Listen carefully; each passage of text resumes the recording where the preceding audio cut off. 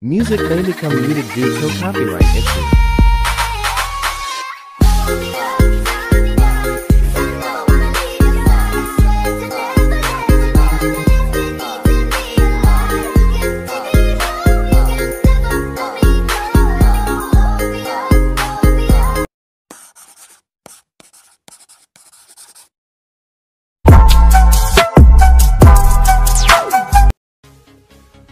What's up yo guys? Welcome back again to my YouTube channel. So for today's video ay gagawa po ulit tayo ng isang panibagong photo transition tutorial. Pero ngayon po ay hindi po tayo mismo ang mag-edit kundi gagamitin lamang po natin yung template na isa-search natin sa CapCut na app. So opo tama po ang narinig nyo na pwede na po tayong gumamit ng template sa CapCut if ever na updated na po yung CapCut natin app. So kung hindi pa updated yung CapCut mo, i-update mo na para masundan mo ang gagawin kong tutorial ngayon. So guys, once na na-update nyo po yung CapCut nyo, ay ganito na po ang magiging itsura nyo. Kung sa dati po ay wala po siya nakalagay sa baba, pero kapag na-update nyo na po ay may makikita na po kayo ditong edit, template, inbox, and me.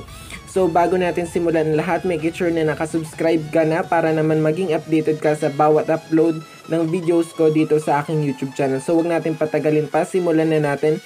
So guys, ang una po natin gagawin is punta lang po tayo sa template and then yung gagamitin po nating music is yung Tie Me Down which is uh, uh, trending po ngayon sa TikTok. So click nyo lang po yung search template and then i-search nyo po or i-click nyo po dito yung nakikita nyong tie me down. So marami pong lalabas dyan guys.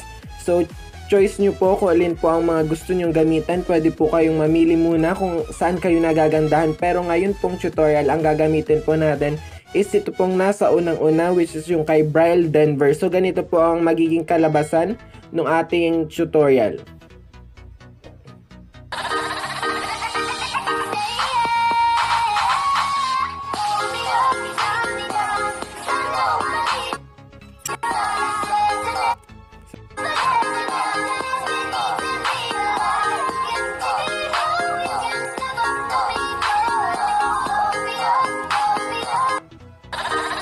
So yan guys, so all we need to do syempre i-heart muna natin yung ano, yung pinagkuha na natin ng source and then dito po ay may makikita ko yung use template and then ganito po ang lalabas sa kanya. Mamimili lamang po kayo ng mga photos na gagamitin ninyo para ilagay po dito sa 21 photos na nakalagay po sa box. So mamili lang po tayo ng photo na gagamitin natin.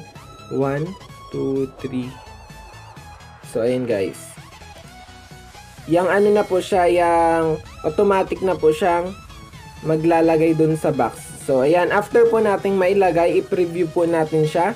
So, ganun lang po kadali. After po niyang mag-loading effects ay tapos na po. Pwede na po nating i-save at pwede na po nating upload sa ating mga social media accounts. So, tingnan po natin ang magiging kinalabasan. So, ganito po siya.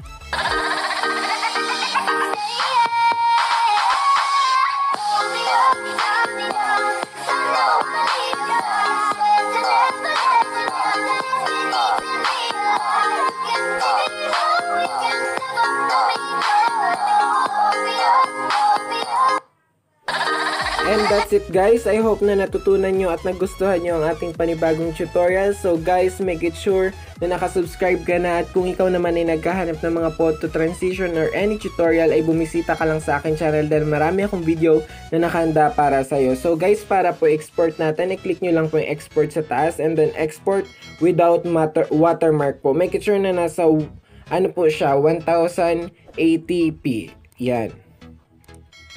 Ayan, and export na po natin siya.